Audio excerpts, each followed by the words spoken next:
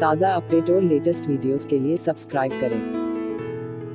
भारत के चार दिव्यांग तैराकों की रिले टीम ने 36 किलोमीटर लंबा इंग्लिश चैनल 12 घंटे 26 मिनट में पार किया है।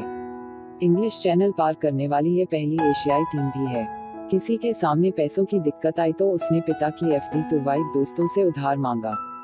किसी को तानों का सामना करना पड़ा तो किसी ने झील में तैरकर। प्रैक्टिस की और इंग्लिश चैनल पार करने का हौसला जुटाया।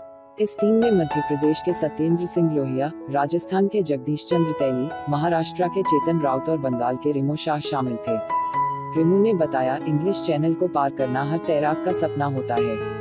उनके लिए यह एवरेस्ट पर फतह से कम नहीं होता। दस से 12 डिग्री सेल्सियस तापमान में समुद्र की लहरों को चीरते हुए आगे बढ़ना उसी तरह से होता है जैसे एक पर्वतारोही बर्फ़ के पहाड़ पर चढ़ता है। यह कामयाबी हमें युद्ध में विजय जैसा एहसास देती है। ऐसे पार किया इंग्लिश चैनल इस रिले स्विमिंग में चारों तैराकों ने मिलकर कुल 36 किलोमीटर का सफ़र पूरा किया।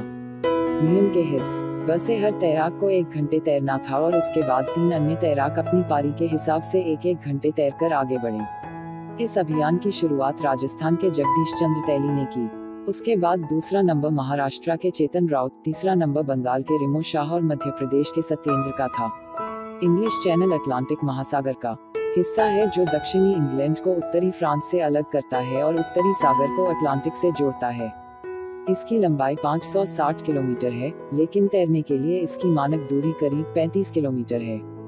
लहरों के साथ तैराक को इससे ज़्यादा भी तैरना पड़ सकता है।